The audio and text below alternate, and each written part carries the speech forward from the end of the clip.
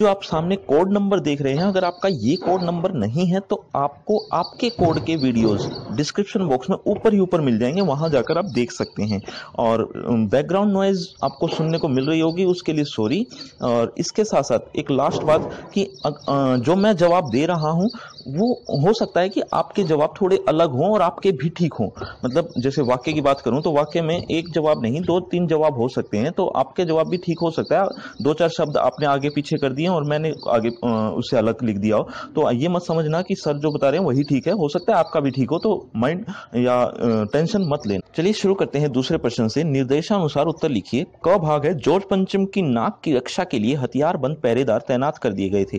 तो ये पूछा गया है संयुक्त वाक्य में बदलना है इसको तो संयुक्त वाक्य में कैसे बदला जाएगा? जॉर्ज पंचम की नाक की रक्षा करनी थी, इसलिए हथियार बंद पहरेदार तैनात कर दिए गए थे। ये इसका उत्तर हो सकता है। दूसरा, ख भाग मुड़कर देखा तो अवाक रह गए। रचना के आधार पर वाक्य का भेद लिखनी है ये संयुक्त वाक्य है। ग भाग, जब हम लोग न मिल सके, तब तिवारी जी सीधे पाठशाला में चले गए। सरल वाक्य में बदलना है। तो इसका सरल वाक्य बदलेगा, हम लोगों के न मिल सकने पर तिवारी जी सीधे पाठशाला में चले गए। जी, इसका उत्तर होगा ग भाग मोहल्ले भर के ढेर सारे लड़कों की मंडली जल्द ही जुट जाती। वाक्य भेद लिखना है तो वाक्य भेद होगा सरल वाक्य, क्योंकि इसमें एक ही क्रिया है। तीसरा, निर्देशानुसार वाक्य परिवर्तन करके लिखिए। तो क भाग आएगा? चलो जरा घूमे। इसको भाववाच्य में चल भाववाच्य में बदलना है।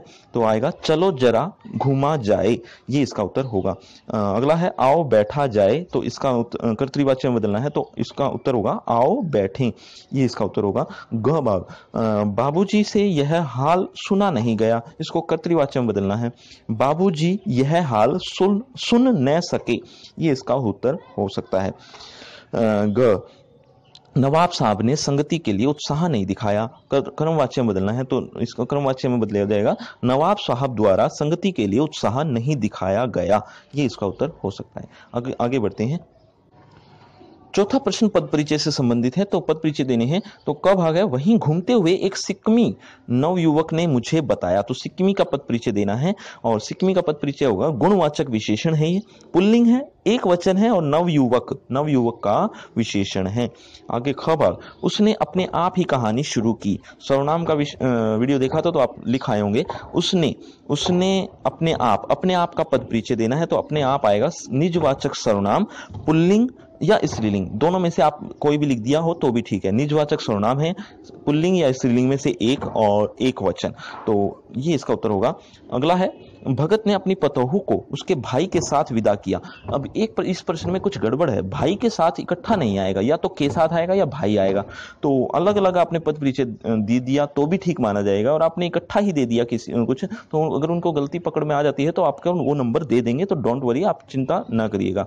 तो भाई का पद परिचय होगा, जातिवाचक संज्ञा, पुल्लिंग और एक वचन और अलग से के साथ का पद परिचय होगा, ये संबंध बोधक अव्यय है। इकट्ठा पद परिचय नहीं हो सकता इसका। चलिए अगले प्रश्न अगले भाग की ओर बढ़ते हैं। मूर्तिकार हार मानने वाला कलाकार नहीं था तो नहीं का पद परिचय देना है तो क्रिया विशेषण अव्यय है और था का, था क्रिया की विशेषता है ये। आगे बढ़ते हैं, पांचवा। निम्नलिखित में से किन्हीं चार प्रश्नों के उत्तर लिखना, रस से संबंधित है पाँच दिए होंगे, जिनमें से चार आपको करने थे। करुण रस का एक उदाहरण लिखिए। आपने अगर वीडियो देखे थे तो करुण, मैंने बताया था कि करुण रस का उदाहरण सॉरी सारे रस के उदाहरण आपको याद करके जाने एक एक कम से कम, ताकि आप लिख सको, क्योंकि वो वहाँ आने वाला है ज़रूर। तो वो आ गया है करुण रस का कोई उदाहरण लिखना था। कोई भी आसान या मुश्किल आपने लिख दिया होगा, अगर आपको आता था। खबर, निम्नलिखित काव्य पंक्तियों में रस पहचान कर रस का नाम लिखिए। यह मेरी गोदी की शोभा। सुख सुहाग की है लाली, शाही शान बिखारन की है। मनोकामना मतवाली, यहाँ वात्सल्य रस है। रस से आप क्या समझते हैं? रस के बारे में अगर आपने सुना था तो आपने लिख दिया होगा, उसकी परिभाषा ही लिखनी थी, और कुछ नहीं। उत्साह किस रस का स्थायी भाव है? उत्साह स्थायी भाव किसमें आता है? वीर रस में आता है। तो वीर रस इसका उत्तर आ जाएगा। गोपियों की विरह दशा के भाव किस रस के अंतर्गत आते हैं? ये आपके सूरदास के पद जो में जो गोपियों की बात की गई है, वो किस रस मतलब पूरी कविता किस रस के अंतर्गत आती है? उनकी जो विरह दशा दिखाई गई है, वो किस रस के अंतर्गत आती है? ये लिखना था। इसके दो उत्तर हैं। अगर आपने दोनों में से एक लिख दिया तो भी आपका ठीक माना जाएगा। जाएगा। कौन से दो उत्तर? पहला करुण रस और दूसरा है श्रृंगार रस। श्रृंगार रस की बजाय आपने वियोग श्रृंगार रस लिखा हो तो और भी अच्छी बात है, वरना श्रृंगार रस भी गलत नहीं होगा। वियोग श्रृंगार रस और करुण रस, इन दोनों में से कोई एक लिखना था आपको, अगर आपने लिख दिया तो आपको मुबारक हो।